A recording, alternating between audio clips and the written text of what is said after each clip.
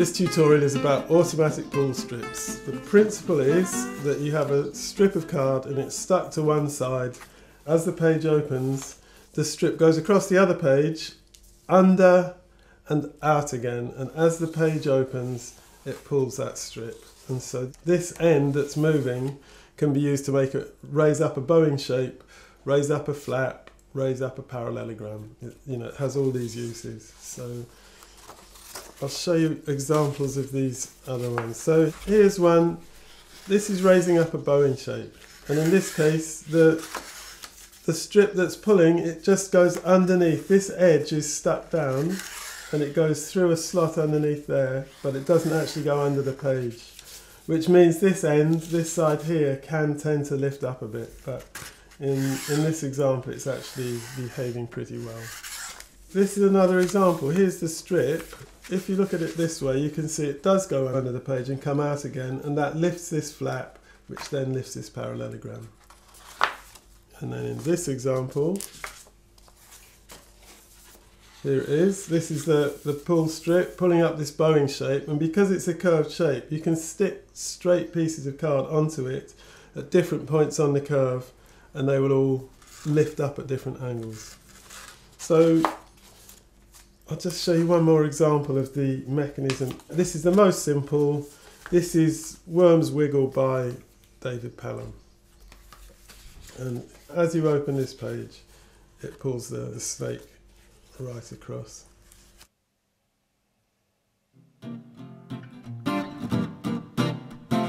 So now we'll just make the simplest kind. So you'll need a, a base sheet, something like this, fold it in half, crease it really thoroughly.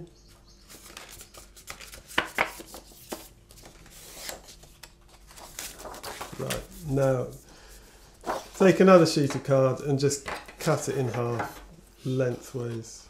So draw a couple of guidelines. Use your ruler to draw a couple of parallel guidelines down the length of it. Put the ruler in the middle. Draw the two guidelines.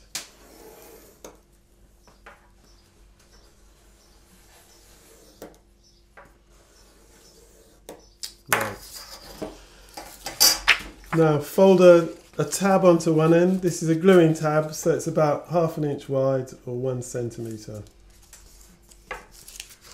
Fold that really well. The other end, cut off about an inch, two and a half centimetres, something like that. Just make it slightly shorter. And fold a gluing tab onto that as well.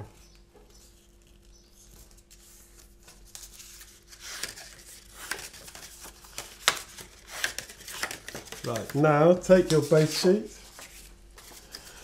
put one end against the crease, so it's like this. Here's the central gully of the base sheet, and now fold it over so it's just within the outer edge of the card. So that when the when the thing is flat it doesn't doesn't jut out. Now on the long side, this is where the strip's going to be. On this long side, just draw a little guideline here. Again, it's about one centimetre in. This helps the whole thing move more smoothly when you stick it together. Now take a craft knife or scissors and cut out the strip just a couple of millimetres on the inside of these guidelines so that the, the strip you're making is just going to be slightly narrower than the guidelines you've drawn. and then cut along that second second guide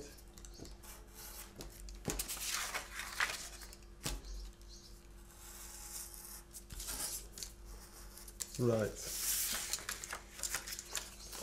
now at the other end take out a piece in between the two guidelines and this one you start just a couple of mil or a millimetre above the fold line and take it to a millimetre or two outside the guidelines. So you're getting a, a wider gap here. And now you can you can just trim all these gluing tabs, just take those corners off.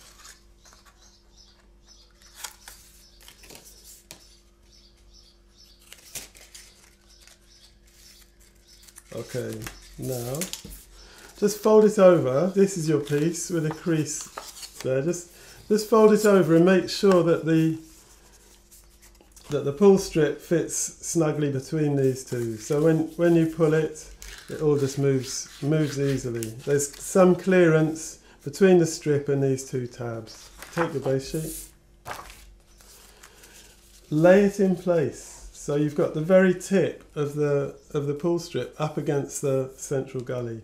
Now these two tabs fold underneath. You put glue on them both, glue them at the same time. So they're going to be folded underneath like that. Put glue on them both. All the tabs on this mechanism take quite a lot of stress, so make sure the the glue goes right up to the creases and you know that they're they are well glued. Put it underneath, put the tip of the pull strip up against the spine. Press it down. Okay, and you can just test that it's working. You can now you can just pull this and make sure that it is lifting up okay. So that's lifting up all right. Now you put glue with the tab flat. You put glue on the top of the tab. This tab really takes a lot of stress, so make sure this is very, very well glued. And now you can close the base. So it's going to find its natural sticking position. Give it a moment for the glue to, to go off and then open it up. So there's your bowing shape and then yeah if you want you can stick pieces onto onto this so you can see the the different angles that lift up according to where you stick them and you can stick them on either side of this but if you stick them on this side coming up this way they're more likely to bash into the base as it as it closes so the easiest one is to have them coming up this way and you just need a little bit of glue. These don't take any stress at all. So there's one. Stick one on the on the top. I'll stick at a completely different angle. You can stick one halfway up.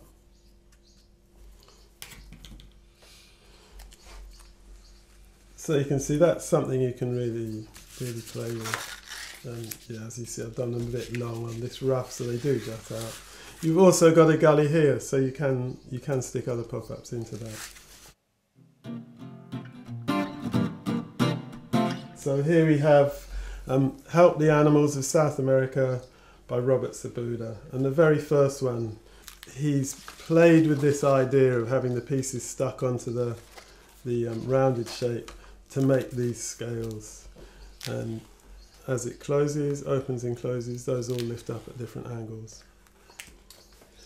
The next one is, is Flying Machines by Ib Penick and here's the spread and so this is the curved shape. Here's the strip, it's glued down on this side, it goes across the spine, dives under the page there, then it'll come up again underneath the balloon and be attached to this side of the balloon. So as the page opens, the balloon goes up.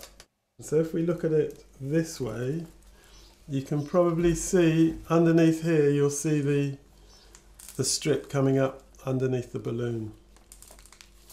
There's another example further on. Um, I'll just go through the book and we'll have a look. So um, this is the one we've just looked at, um, not this one, this one. So here, here and here, these are two, the this is for this one here's the strip. It's attached to this side of the page. Goes across the spine. Goes underneath immediately. Goes right across. Comes up there underneath the wing of Concorde pulls up the flap and then the Concorde is built onto a parallelogram so on this one the strip is attached here on on uh, this side of the page then it, it goes across the spine and goes underneath and then here you can see it comes up and it's lifting a flap which is then lifting parallelogram. If I hold it up like that, you can see see the parallelogram lifting that, and the uh, helicopter is stuck on top of the parallelogram. So that's that one. Next one is um, Wizard of Oz. There's a couple of examples in here. So this one, it's a multiple strip. It's all pulled by this. This here is the uh, is the strip that's stuck to this side. It goes underneath. Under the back of the page, there's a whole series of, of pull strips. They all come up through the page and then lift these poppy flowers up. And you can see this bird, the wing, here's the strip emerging from the page. As, as the page opens, you see that that strip is disappearing back under the page, pulling up the bird wing. And then a bit further on, here we are. This is the curved shape. The sorry, move that out of the way. The strip is is behind here. It's hidden behind this flying monkey or whatever it is. It's stuck to this side, goes across the spine, under the page, and then if we look look up inside the tower, you'll see here there is the there is the strip emerging and pulling on this side and pulling the tower in, into a curved shape. And then we've got uh, Little Red Riding Hood by Bruce Foster. And on this one, this wolf head is uh, moved by a pull strip. As you open the flap, you can see here's the strip, it flips the wolf head over. And the strip is attached to this flap here. It's attached behind the explosion, goes under the page, comes up again. So as the flap opens, it turns the wolf head over. And then the last one is the very end of the book. It's the last page. It's the the strip is attached to this side. It's hidden underneath the cat. It goes through through a, a hole in the um, in the curved shape, comes across, uh, is attached to the curved shape and pulls it up. And then the the all these pieces are taking advantage of the of the curve to give you pieces lifting up at, at different angles. And uh, the next book is um, The Night Before Christmas, Robert Sabuda. And at the very end, you've got this quite spectacular winter scene.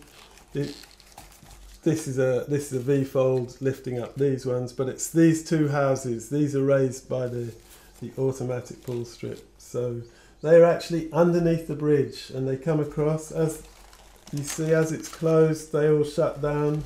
So as it opens, the pull strips, you can see that they're under the bridge. They go under the page, hidden pull strips. One is attached this side, goes underneath and pulls up this house.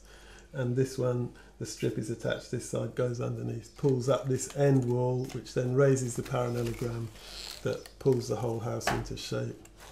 And finally, um, there's uh, Blue 2 by David Carter. And this has got a whole series of um, open top shapes that are dealt with in tutorial 18 so this is it. All the strips are really really obvious here. You can see them coming out of the page. Looking at it this way round you can see how it's attached on this side goes underneath on this side comes up again and pulls up this this open top shape. So there's there's just a whole a whole array of them four pull strips you can just see really clearly how they're all working. If you look look at it end on, look you can you can just see them all. They're all just moving like that and pulling these pulling these cones up into shape. So that's it for pull strips.